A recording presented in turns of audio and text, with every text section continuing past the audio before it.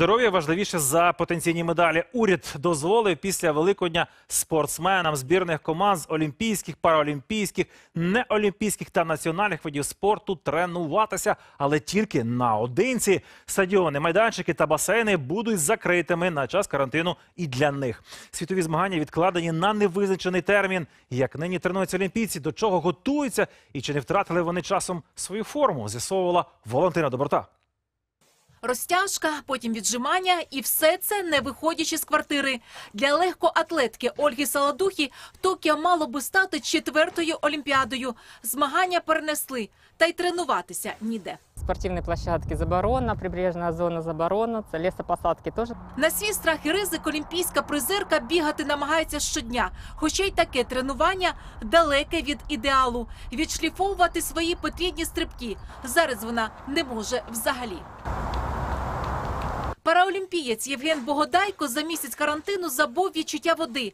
Тепер для відновлення до карантинної форми плавцю знадобиться мінімум півтора місяця. все різко произошло, і ну, ми остались без нічого, без спортсооружений, без нагрузок. І, звісно, в первую очередь вред для здоровья. Мне хочется, чтобы нас пускали хотя бы членов сборной да, на спортсооружения, в бассейны, на стадионы. Щоб карантин не став початком кінця кар'єри, в деяких країнах професіоналам тренування не забороняли, але в нас вирішили не важити здоров'ям олімпійців. Ми пропонуємо зро- дозволити пробіжку, ходьбу та е, велосипеди. Будь-які досягнення в спорті не можуть стояти вище за здоров'я і життя е, громадян. На час карантину спортсмени залишились і без додаткового харчування.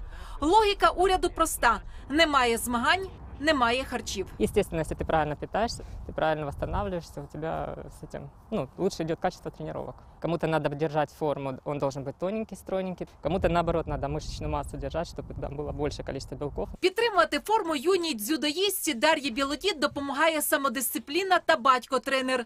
Але зізнається, для повноцінного тренування їй усе ж таки бракує спарингів. І коли зможе вийти на двобій, дзюдоїстка не уявляє. є страх йти у зал, тренуватися з людьми, контактувати з ними. Тож я не знаю, коли я зможу спокійно, зі спокійною душою це робити. Інколи можна навіть робити відпочинок, можливо, від спарингу. Якщо це 2-3 місяці, не більше. Якщо більше, звичайно, це можливо буде проблемою.